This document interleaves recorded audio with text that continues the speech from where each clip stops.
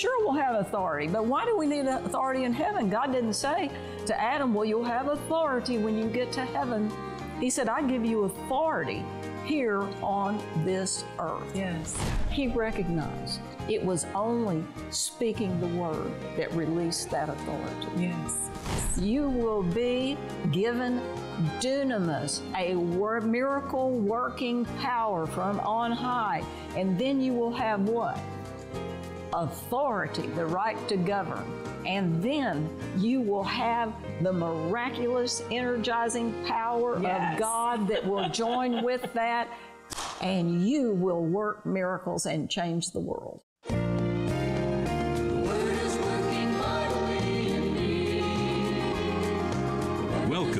To the Concepts of Faith broadcast.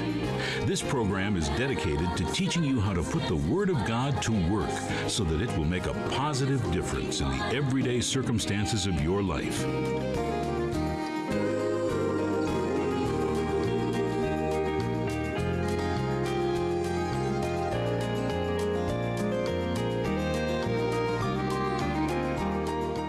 Hi, my name is Michelle Steele. And I am Annette Capps, and we're going to have a good time today. Aren't Praise we? the Lord. We are ex- entering into one of my favorite teachings that your dad brought into the body of Christ. And through this teaching, I have recognized who I am and what I can do in my authority in Christ Jesus. Yes. And so we're going to be talking about authority in three worlds. And I know some people, when they, uh, authority in three worlds, well, which three worlds? Well, what are we talking about here?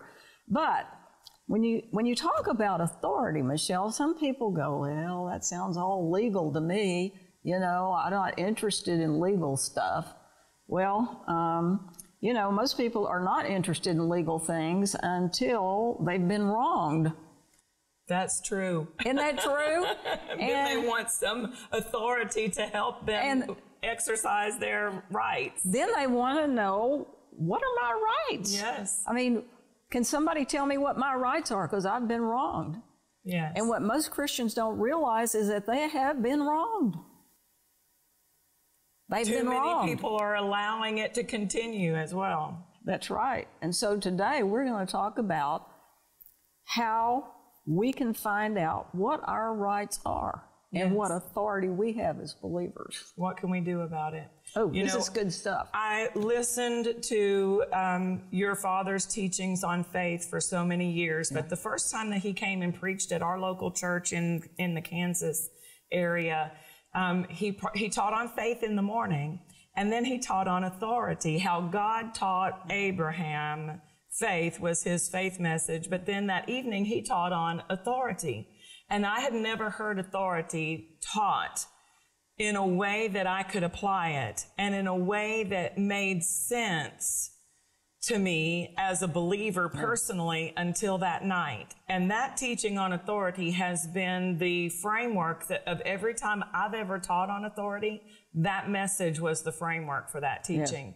And today we're talking about the book, The Authority in Three Worlds, that you have just brought out in a I like a it. brand I new like version. It. I like it. But it also has with it a very important um, teaching tool of the the study guide Yes. as well as the um, Bible School nine DVDs and 12 CDs that go along from teachings that your father did in a Bible school that we now have it formatted with the study guide so that it can help people take that same truth and put it to work. That's Yeah. what helped me so much. I could take, I walked right out of that, that service and I put it to work. Yes. And uh, my dad did too. he started learning about his authority that, you know, God created Adam, and what did he say to him? Said, I want you to go and have dominion over the fish of the sea, the fowl of the air, and everything that creeps on the earth. God committed this entire earth and its everything on it to Adam Yes. to take care of, to guard it, to keep it a wonderful, beautiful paradise of Yes. God. And yet he sold out to the devil. He turned he just handed the keys over to the devil, you know, here you go. You know, I've been told about this, but he did it.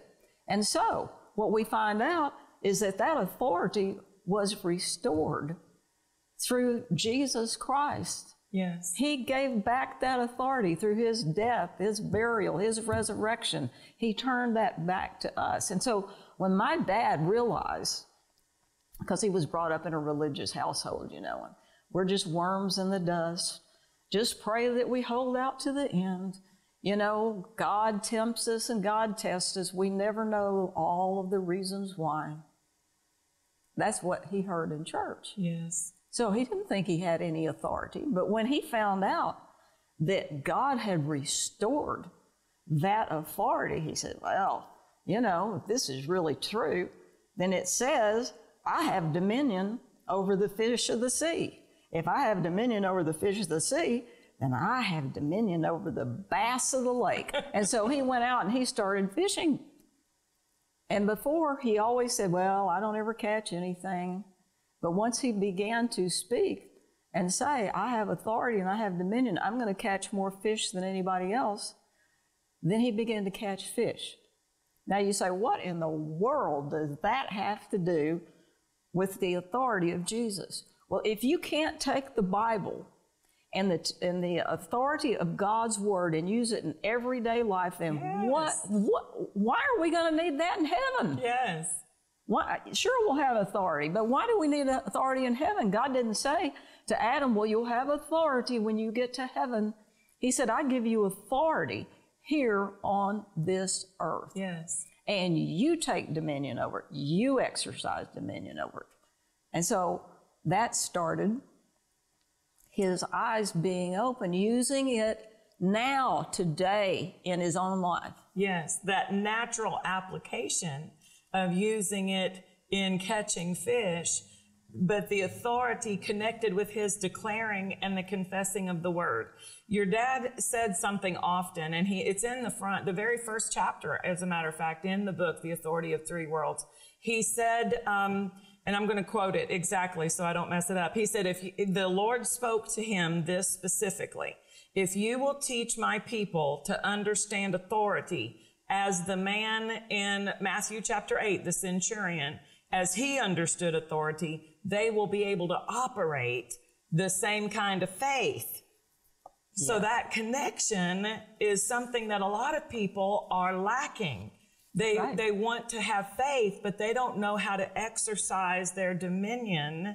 And, and that connection is vital to any application of faith.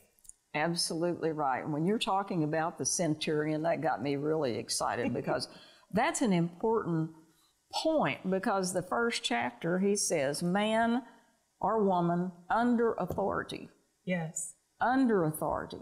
We're talking about delegated authority. When people hear that and they say, well, why would Charles want to do that with the have dominion over the fish just to catch more fish?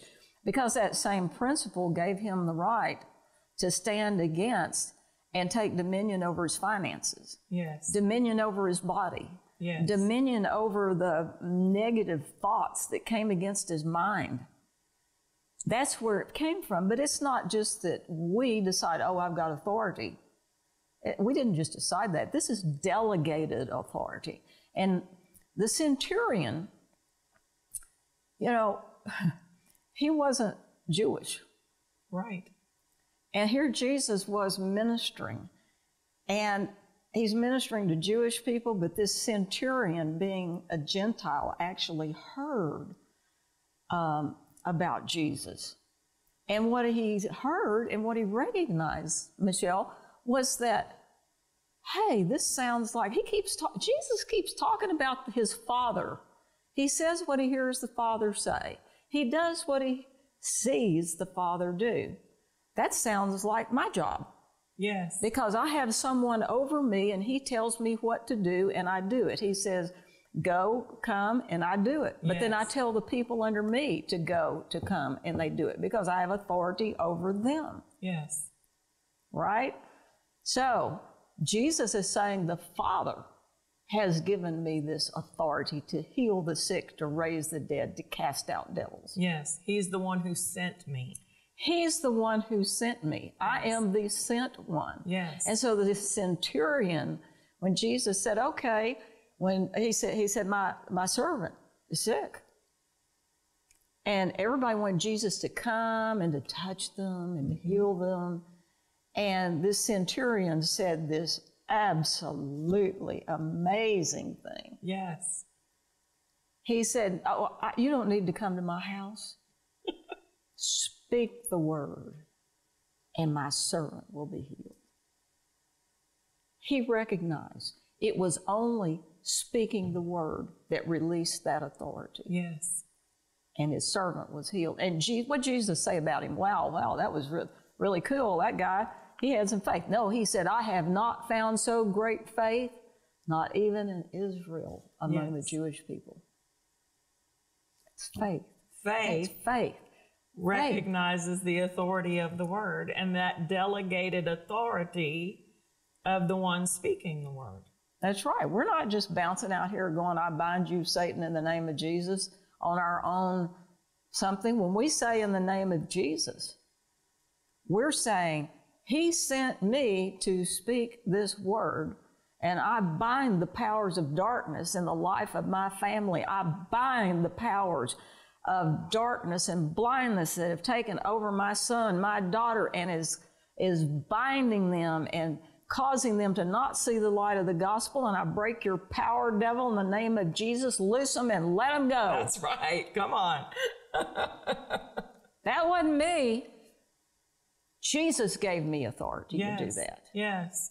Jesus gave me authority to do that. Praise God. In Luke chapter 10, you know, when Jesus sent out his disciples, he sent out the 12, first of all, the apostles. I want you to go forth, heal the sick, raise the dead, cast out devils. And they did.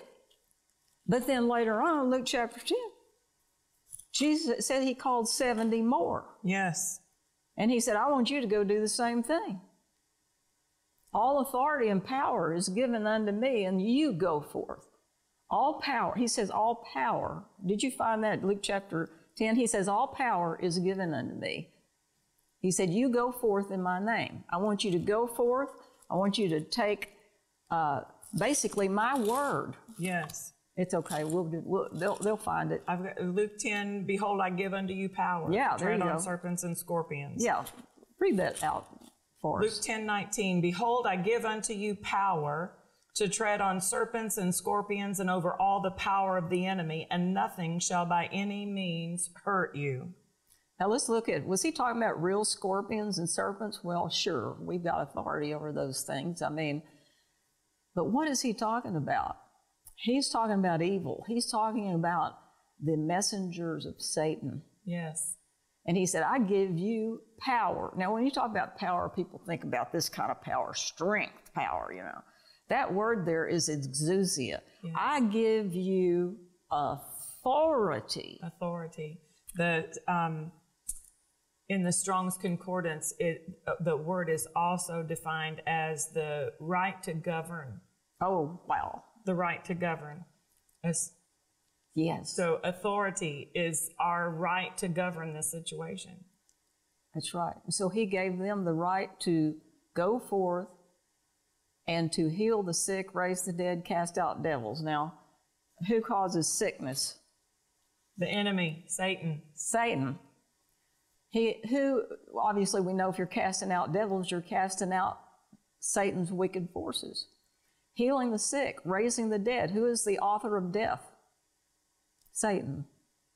And so they they go out and all these miraculous things happen. They come back, Lord, Lord, all even the devils, it says, even the devils submit to us in your name. And Jesus said, Well, don't rejoice in that. Rejoice that your names are written in the, in the book of life in heaven. Okay? So I want to particularly note something here. You know, the apostles, this all happened before the day of Pentecost. Yes. The apostles worked miracles before the day of Pentecost. Before the blood was shed, before the work of the cross was completed. All right. So this is before this is all completed. And then, well, those were apostles. They've been with Jesus somehow by osmosis, they whatever. But then he takes 70 people that were not apostles and he said, You go heal the sick, raise the dead, cast out That's devils. good. You'll tread on serpents and scorpions, and nothing shall by any means hurt you. Yes. Yes. They hadn't been through the day of Pentecost. They hadn't received power from on high. The only thing they have at this point is the authority of Jesus' name, Yes. delegated authority. Praise God. And just the delegation of the authority of going forth and being sent because Jesus said to do so Yes. worked miracles. Yes. Now, I don't want to get too far ahead, but what do you think happened then on the day of Pentecost? Yeah. How much more effective is that authority with the shedding of the blood and the completion of the new creation in Christ uh, because of the work of the cross and the covenant that we have in that blood? Exactly. If that happened then, what should we be doing now? Jesus said, when he said, I give you authority, he said, I give you authority over all the power of the enemy. He said, I give you authority over all the dunamis of the enemy, the workings of the enemy. The workings of the enemy. And then he, when he said, I want you to go to Jerusalem and wait until you are endued with power, dunamis from on high. Yes. So listen to this and see if you can hold on to your seats. Jesus gave the authority, the exousia. I give you authority. What did you say? The right to govern? Right to govern. The right to govern. jurisdiction. The jurisdiction in the name of Jesus Yes. over sickness and over Satan, over demons. And then he says, But wait, wait, when you stay in Jerusalem, there will come a time when you will be endued with power or given power. Did that mean more authority? No, that word is dunamis. Yes. You will be given dunamis, a wor- miracle working power from on high. And then you will have what? Authority, the right to govern. And then you will have the miraculous, energizing power Yes. of God that will join with that. And you will work miracles and change the world. Yes. Yes.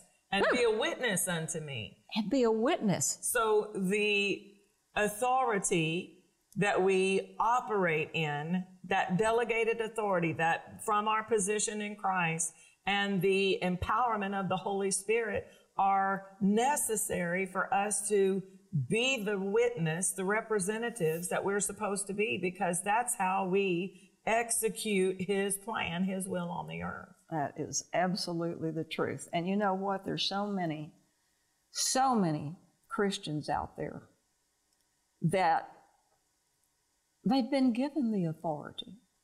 Jesus said it. Oh, well, I'm not a minister, therefore I don't have authority. That didn't say if you're a minister. To as many as believe on my name. Yes. And they've been given the authority. There are even people out there that have been baptized in the Holy Spirit, received their heavenly language. The power, the dunamis power is out in them, and they're not doing anything. You know why? Because there's a we've got the authority, exousia, we've got the dunamis, the energizing power, but there's something missing in the middle, and the third thing is faith. Yes. Yes.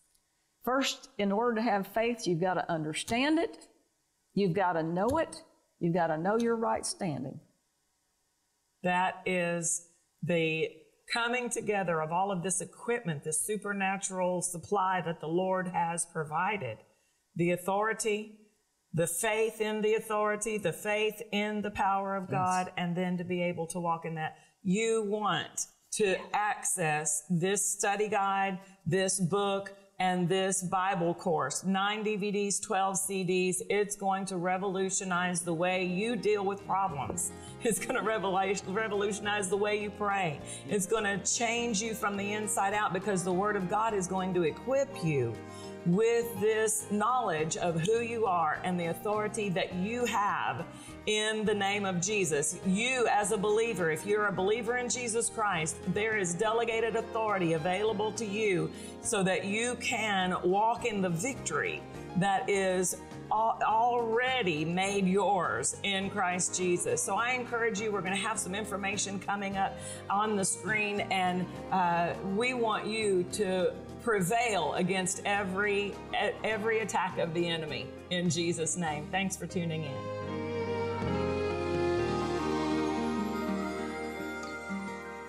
We've got covenant authority because God sent his son a lamb and shed his blood. We have a covenant with God. We entered into that covenant and we have covenant rights. So we've got covenant authority. We've got legal authority by being born here as a human, and then we have the delegated authority that Jesus gave us, the Father through the Son gave us His name. We have three realms of authority. We have, ooh, we have three realms of authority, yes. and we have that authority to operate in all three realms heaven, earth, and beneath the earth. Well, thank you for joining us today for this special broadcast with Pastor Michelle Steele. Pastor Michelle, thank you so much for writing this study guide and putting it together. It's going to be a blessing to so many people, and I know they're going to love it. Well, this complete Bible school package we are offering you today includes the study guide that Michelle put together, the book and nine DVDs plus 11 CDs. That's offer 2778. Call 877 396 9400 or visit capps.tv. The ordering information is on your screen right now. Well, this is a great package for personal study or for churches, Bible classes, and Sunday school groups. You know, what stands out to me, Michelle, is the importance the Spirit of God placed upon us getting this together. Yes. And my office staff spent hours and hours just trying to pull together the nine DVDs from the original Bible school sessions. They got it done. Yes. You know, this is a teaching you absolutely must understand in this day and time in which we live. And I know you agree. Call 877 396 9400. Ask for Bible School Offer 2778. And if the number is busy, please call back. Our office staff gets really upset when they miss your calls and they want to hear from you. Now, I wanted to include everything I possibly could on the subject of authority in this Bible school. So, along with nine DVDs, we put 11 CDs, the book, and the study guide together. And I included the very best CD teachings that my dad did, including the dominion principle. You, God gave Adam dominion and it has been restored. That's a great one. Then there's authority, faith, and anointing. And that one is so powerful that when I had a member of the office staff listen, he took off running around the office with, under the anointing of God. So we're including that. Praise God. Now, for those of you who just want to dip your toes in the water, well, you can order the book by itself, Authority in Three Worlds, or just the study guide, or both. Everything can be ordered separately. You can also have a copy of this program. We try to get you anything you want. Michelle, it's time people stop the stealing and the robbery that's been going on in their lives. Amen. Learn to stand in their authority and break the power of the enemy. This is a small investment for something that could radically change people's lives. Yes. Let's pray. Father, in Jesus' name, right now, let this anointing and let this message go out to the entire body of Christ. Yes. Loose the anointing upon them. Lord, help them to gain the understanding of the authority that we have in Jesus' name and let them rise up and let the church of Jesus Christ become what it should be. In Jesus' name. Thank you for watching. understanding authority is what caused this man to be so highly developed in his faith. And as I was studying that and praying about it, mm, the Lord said to me, right in my spirit, He said, If you'll teach the body of Christ to understand authority the way this man understood authority, then He says, they'll be able to operate in the same kind of faith. In other words, the, the greatest form of faith, the faith that Jesus bragged about. In fact, the Bible says He marveled at their faith, at His faith. There's two places in the Scriptures where it says Jesus marveled. One is here in the eighth chapter of Matthew, where he marveled at this man's faith, and the other is in Mark, the sixth chapter, where he marveled at the unbelief of the people in his own hometown. Well, I'll tell you, I'd rather have him marvel at my faith than my unbelief. But now let's notice that the man says, I am a man under authority, and having soldiers under me. So he's a military man, he's been trained in that. He knows that the delegated authority will stand up, and that he has the authority to speak the word and cause individuals to do certain things, implying that Jesus has the authority to speak the word and his servant would be healed. And it says in verse 13, Jesus said unto the centurion, Go thy way as thou hast believed, so be it done unto thee. And his servant was healed the self same hour. Now he went on home. Notice he didn't change anything. He still believed in what he believed when he spoke to Jesus. He believes that his servant is healed because Jesus spoke the word. And he didn't speak any religious words. He just said, Go thy way as thou hast believed. Now, see, there's power in believing. Faith gets things done. And as he spoke the word, the man had already believed. Now, uh, another thing that I want to point out to you here that I think will be beneficial to you. This man established his own point of contact. You see, when we talk about the laying on of hands, it's actually establishing a point of contact where that we can release our faith. We know when to release our faith if someone lays hands on us. We know that uh, that's the time to release our faith, that we receive our healing. Well, the point of contact this man established was when you speak the word, then my servant will be healed. So he established his own point of contact. He said, This is it. If you speak, it will be that my servant will be healed. That's the way it'll be. And Jesus just said, Go on as you have believed. In other words, don't change a thing. Just keep believing what you believed. And the man's servant was healed the self same hour. Now, I think it's good that we understand that. And we know that, that we have authority over circumstances of life.